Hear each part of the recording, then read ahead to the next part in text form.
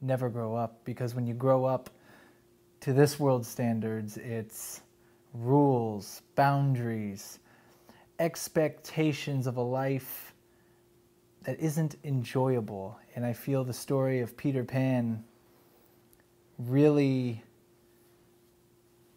captures what it is us as artists and creatives and entrepreneurs and free thinkers are all about.